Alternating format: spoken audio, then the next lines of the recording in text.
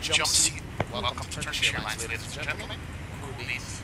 Uh, let's, uh, right door, nicely done. And this is the first class section here. With the Skylife magazine and all the brothers hanging around.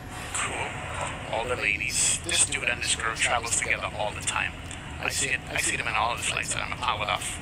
She always travels by herself. What kind of folder does she have? She's got a menu in her hand. She certainly does. Or is that a pillow? It looks like a pillow. Yeah, that's a pillow. Ooh, rip.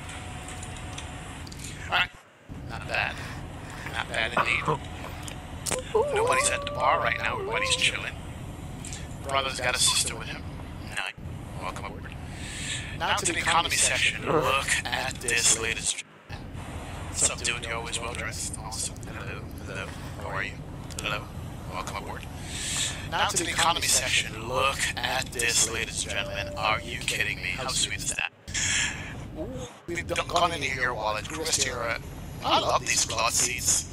Texture quality on these cloth seats are nice.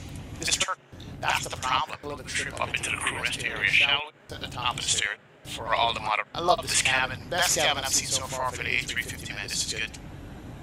Why is economy class empty? I don't know, man.